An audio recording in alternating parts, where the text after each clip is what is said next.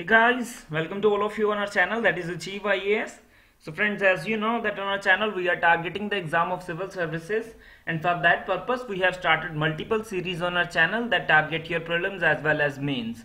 So friends, you might be aware of the fact that we also have a series in which what we do we daily discuss some questions from your prelims perspective. So the name of this series is Let's Solve Some Questions for Prelims 2020. So uh, as is uh, as its name suggests, so this series is not just about solving the questions, but it is also about your participation. So we do expect that you people uh, would participate in the discussion and uh, will share uh, any additional information apart from the explanations that we give. So if, if in case you have any additional information, then you are more than welcome to comment in the comment box. And also if you have any doubts, queries, you can ask in the comment box. We will promptly revert back to you. So let's start our discussion. So today is video number 17. So the questions that we will be going to discuss today will be from your art and culture topic uh, of prelims as well as mains. So the first question is Patola is a style of A. Weaving popular uh, in Gujarat B. Performing arts in Guruvayur C. Shadow puppetry popular in Marathwada D. Temple construction in northern India. So we have to choose the correct answer. So friends, you might be uh, knowing this uh, that, this is basically a weaving art that is popular in weaving art that, that is popular in Gujarat. So option is A. Uh, so patola sarees are basically a double ikat woman uh, woven saree. So usually made from silk, made in Patan, Gujarat. So they are very expensive and once worn only by royalty and aristocracy. And uh, also they are popular and in demand from the affluent. So they are so unique that the, uh, the, they are the geographical indication, indication tags for Gujarat as Patan Patolas and Andhra Pradesh as Budan Pocham, uh, Pochamal, uh, Pochampalli. So that is very important. So please note this. Uh, uh, the Gujarat has uh, for this got the GI tag and similar such patolas are made in Andhra Pradesh and they are named by the uh, they are they are called Budan uh, Pochampalli. So they it is also a GI tag. So now let's move to the next question. Next is which of the following describes Thunni most appropriately? Appropriately. So we have to choose that what is Thunni. A. It is an ancient form of martial uh, arts practiced in Kerala. B. It is an environmental conservation technique of the uh, Goda, Godas. C. It is a harvest festival celebrated in northeastern India. D. It is traditional law-making body of the Nagas so we have to choose the uh, choose the correct answer. Let me tell you friends the answer is c. That is it is harvest festival that is celebrated in northeastern india. So it is one of the major festivals that is uh, celebrated by uh, Chakhesang tribe predominantly by the, predominantly by the uh, poumai Chakhesang from Razeba area. So uh, names are quite difficult to pronounce. For the Poumai community in Manipur, Thunni is a premier festival of new harvest. So it is celebrated from January 5th every year and continues for several years. So most importantly, it is a festival of equity. So where both both poor and rich and old and young share the same barrel of rice, beer and eat the same food. Now let's move to the next question. Next is which of the following statements about temple architecture in India is incorrect? A. Nagara and Dravida are famous South Indian temple uh, construction styles. B. Vesara order was created uh, through the selective mixing of Nagara and Dravida order.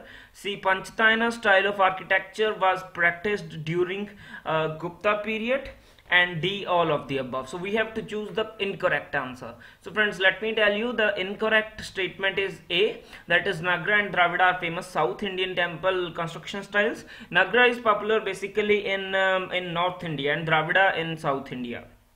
So A is the correct answer.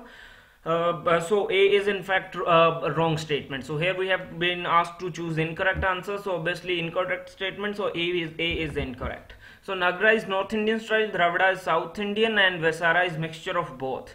So uh, temple at Deogarh, Lalitpur, UP is in uh, in the uh, in the Panchayatana style of architecture. So where the main shrine is built on a rectangular plinth with four smaller subsidiary shrine, shrines at the four corners, making it a total number of five shri- shrines. Hence the name Panchayatana. So it is just similar to like uh, uh, if a main shrine is uh, is in the mid and uh, it is surrounded on four corners by four subsidiary uh, shrines. So total uh, number of shrines become five. So that's why it is uh, called by the name Panchta-. Panchatana. so now let's move to the next question next is this buddhist mudra is called the gesture of debate or discussion mudra it is a mystic gesture of taras and bodhisattvas in which tips of thumbs and index finger touch forming a circle and all the other fingers are extended upwards uh, so we have to choose the mudra is a Vitarka B Abhaya C Varada D, श्रमण, श्रम, श्रमनामा श्रमणा mudra so friends the answer here is a Vitarka so if if you are aware of if you know little bit Hindi then you might be able to mark correct answer because basically tarka in in Hindi is refer to reasoning so obviously debate in debate reasoning is an important part so a is the answer. So vitarka mudra so this gesture is also called gesture of fearlessness or blessing of fearless mudra so uh, this uh, option B, uh, the Abhaya Mudra is basically gesture of fearlessness, blessing and fearless mudra. So generally this position is sh uh, shown with the palms facing outward and finger extended upwards. This mudra is characteristics of Buddha, uh, Buddha Sakyamuni and Dhyani Buddha Ama, uh, Amogha Siddhi. So more details you can read. Now let's move to the next question. Next is consider the following about Nataraja dancing posture depicted in Chola period bronze sculpture.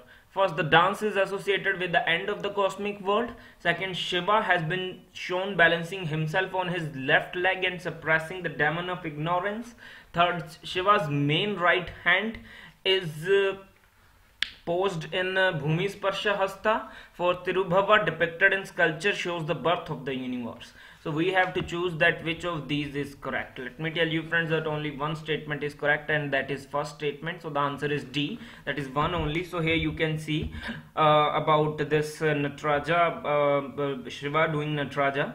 So uh, you can read it uh, read about it in detail. So it is a famous bronze sculpture from from the Chola period.